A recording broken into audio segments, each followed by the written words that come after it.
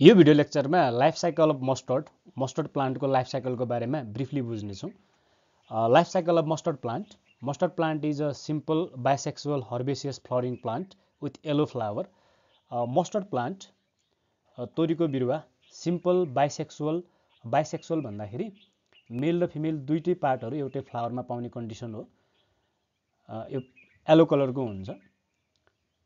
It is an annual crop plant which is cultivated for seeds यो annual crop हो यो वार्षिक बाली हो जसलाई सिड प्रोडक्सनको लागि कल्टिभेट गरिन्छ the oil is extracted from its seed and its tender leaves are use as a green vegetable यसको सिडहरूलाई ओइल एक्सट्र्याक्ट गर्न प्रयोग गरिन्छ र यसको लिफहरूलाई भेजिटेबलको रूपमा युज गरिन्छ। मेनली दुईवटा पार्ट हुन्छ फ्लावरको के अरे प्लान्ट पार्ट्स दुईवटा प्रकारको प्लान्ट पार्ट्स हुन्छ। First is a vegetative parts and second is a reproductive part र भेजिटेटिभ पार्ट भन्दाखेरि कुनै पनि प्लान्टको रुट स्टिम र लिभ्सलाई जनाउँछ र रिप्रोडक्टिभ पार्ट्स भन्दाखेरि त्यसको फ्लावरलाई जनाउँछ र फ्लावरमा भएको रिप्रोडक्टिभ पार्टहरूलाई जनाउँछ। यो सेट डायग्राममा एउटा मस्टर्ड प्लान्ट छ। यो सोइल पोर्सन हो। सोइल पोर्सनभन्दा तलको पार्टलाई रुट भनिन्छ र रुट सिस्टम भनिन्छ। तिन प्रकारको रुटहरू यो डायग्राममा देखाएको छ। Primary root secondary root and tertiary root primary root mature भएको रुटहरू हो सेकेन्डरी रुट इन्टरमिडिएट रुटहरू हो र टर्सरी रुटहरू चाहिँ ग्रोइङ रुटहरू हो एपेक्स पोर्सन हो रुटको एन्ड यो सोइलभन्दा माथिको पार्टलाई चाहिँ सुट सिस्टम भनिन्छ। सुट सिस्टममा mainly stem leaf fruit flower र टर्मिनल बर्ड कन्टेन गर्छ। यो सबभन्दा माथिको पोर्सन टर्मिनल बर्ड हो। एन्ड देन फ्लावर फ्लावरै म्याचुर भएर फ्रुट बन्छ र फ्रुट म्याचुर भएर सिड बनियो। यो ओभरअलमा स्टेम हो र यो पातमा भएको जो बिचमा भएको डन्डा हुन्छ त्यसलाई इन्टरनोड भनिन्छ। जो एक्जलरी बोर्डहरू आउँछ पातको बिचमा त्यहाँ फ्लावर फुल्ने गर्छ। एन्ड यो पातको डायग्रामलाई यहाँ एक्सप्लेन गरेको छ यसले। एन्ड भेजिटेटिभ पार्टमा रुट स्टिम लिभ्स भइसकेपछि reproductive पार्टमा the mustard matured mustard plant has a bright yellow colour र परिपक्व भएको तोरीको फुलमा पहेँलो कलर आउँछ। Flower are reproductive part of the plant कुनै पनि बिरुवाको प्रजनन जो अङ्गहरू हुन्छ त्यो फ्लावरमा हुन्छ। Flower flowers are bisexual that is both male and female organs are present in one flower यसको फ्लावर बाइसेक्सुअल हुन्छ किनकि मेल र फिमेल दुइटै पार्टहरू एउटै फ्लावरमा हुन्छ। Fully grown matured plant produce flowers and seed एउटा परिपक्व भएको बिरुवाले फुल बनाउँछ र फुल परिपक्व भएर सिड बिउ बन्ने गर्छ। The flower bears different whorls. फ्लावरमा different रिङहरू हुन्छ जसलाई होल भनिन्छ। देयर आर फोल हो four whorls in the mustard flower. They are सबभन्दा बाहिर क्यालेक्स हुन्छ जसलाई स्यापल पनि भनिन्छ। यो सपोर्टिङ पार्ट हो यो ग्रिन कलर्ड हुन्छ। त्योभन्दा भित्रको पार्ट जसले कलर दिन्छ त्यसलाई कोरोला भनिन्छ त्यसलाई पेटल्स पनि भनिन्छ। यो एलोर कलरको हुन्छ। एन्ड त्योभन्दा भित्र एन्डोसियम जसलाई मेल पार्ट भन्छ। एन्ड सबभन्दा भित्र गाइनोसियम फिमेल पार्टहरू पाउँछ रिप्रोडक्टिभ पार्टमा। एउटा फ्लावर स्ट्रक्चर छ मस्टर्ड प्लान्टको यो फ्लावर स्ट्रक्चरमा यो सबभन्दा तलको चाहिँ यो स्टाक हो। यो स्टाकबाट नै यो फुल जोडिएको हुन्छ त्यो प्लान्टमा यो रिसेप्टिकल हो। एन्ड देन यो सेपल हो ग्रिन पार्ट यो सपोर्टिभ पार्ट एन्ड योभन्दा भित्रको कलर दिने पार्ट चाहिँ पेटल हो। र मेन पार्ट भनेको एन्डोसियम र गाइनोसियम हो। अब एन्डोसियम भनेको पिस्टिल पनि भनिन्छ।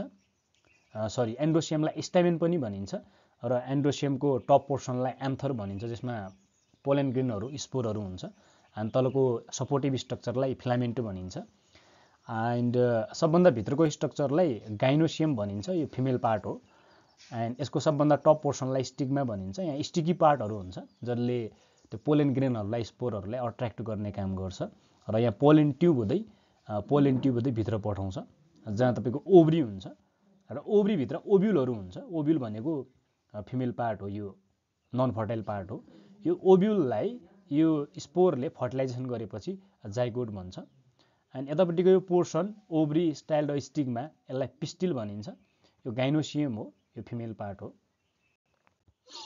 Reproduction reproduction is the production of new individual or of plant.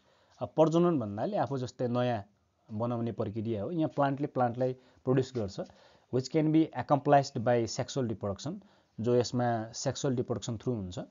Sexual reproduction अफिसरिङ by the fusion of gamete र यो ग्यामिटहरूको फ्युजनद्वारा चाहिँ प्रक्रिया सम्भव हुने हो। Resulting in offspring zygote र यसमा जाइगोट भन्छ। जेनेटिकली डिफ्रेन्ट हुन्छ। किनकि यसमा दुईवटा डिफ्रेन्ट फ्लावरको अथवा दुईवटा डिफ्रेन्ट मेल फिमेल पार्टको इन्टरमिक्सिङ भएको हुन्छ। त्यही भएर नयाँ बन्ने इन्डिभिजुअल अफ स्प्रिङ डिफ्रेन्ट हुन्छ। From the parents asexual reproduction produce new individual without the fusion of gamete asexual रिप्रोडक्सनमा नयाँ इन्डिभिजुअल बन्छ बिना फ्युजन भइकन ग्यामिटहरूको फ्युजन हुँदैन त्यहाँ. Identical to the parent plant and each other र जसमा नयाँ बनेको जो क्लोन छ क्लोन भन्छ ए सेक्सुअल रिप्रोडक्सनबाट बनेको नयाँलाई त्यो क्लोन चाहिँ हुबहु हुन्छ होइन? And except except when mutation occur somehow त्यो डिफ्रेन्ट हुनसक्छ मदर प्लान्टबाट। त्यहाँ चाहिँ म्युटेसनको केसमा चाहिँ त्यो कन्डिसन हुन्छ। After fertilisation the offspring can be package in protective seed.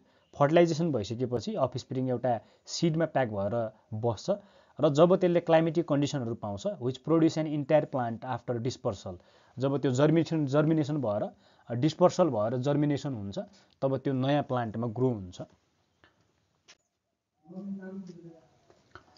यो डायग्राममा नर्मली प्रोसाइकिल एब्जर्भ गर्न सकिन्छ एउटा mustard प्लान्टमा how flowering plant produce mainly एउटा फ्लावर र फ्लावर पार्ट फ्लावर पार्टमा मेल मेल पार्टबाट स्पोरहरू फिमेल पार्टमा गइसकेपछि फिमेल पार्टमा गइसकेपछि फर्टिलाइजेसन हुन्छ।